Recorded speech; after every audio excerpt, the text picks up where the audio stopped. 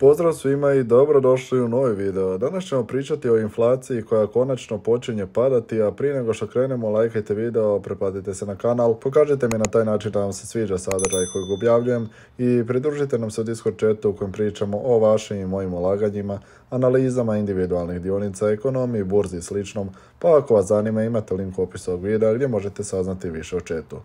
Uz četiri pristup našoj zajednici gdje se družimo, dobivati pristup alatima kao što su FaceGraphs, Seeking Alpha i po novom Morningstar Premium. Isto tako podsjećamo da iskoristite priliku koja vam se nudi, ukoliko već niste, registrirajte se na Interactive Broker s pomoću linka koji je u opisu videa i dobit ćete besplatne dionice u vrijednosti do 1000 dolara, naravno ovisno o visini vašeg ulaganja u prvoj godini. Jučer je bio jako lijep dan za burzu, indeksi su rasli između 1,5 i gotovo 3%, a rezultat je izvještaj o inflaciji kojeg se iščekivalo i donio nam je još malo razloga da budemo zadovoljni i optimistični za naredni period. Inflacija je bila 8,5% u 7. mjesecu u SAD-u, očekivalo se 8,7%. Iskreno ne sjećam se kad se zadnji put dogodilo da je inflacija bila manja od procjena analitičara i to dovoljno govori. I ovo je bilo iznimno visoko, ali se čini da je trenutak preokreta upravo sada. Od 10. mjeseca pa nadalje vidjet ćemo puno veći pad inflacije, tad ćemo vrlo vjerojatno biti na nekih 7% i lagano će se nastaviti smanjivati po pola posto, 1% iz mjeseca u mjesec. I još uvijek stojim iza onoga što sam rekao, a to je da ćemo početkom iduće godine biti na oko 2% inflacije ili čak i niže. Uopće ne isključujem ni slučaj moguće deflacije. Jedan od glavnih razloga zašto je inflacija bila niža od očekivanog su cijene nafte koje su lijepo pale, konačno smo pali ispod tih 95 dolara gdje je bio jako otpor i naravno da je inflacija niža nego u prošlom mjesecu kad su cijene bile oko 120 dolara po barelu, velika je razlika. Dosta se materijala i sirovina korigiralo, vidite primjer pšenice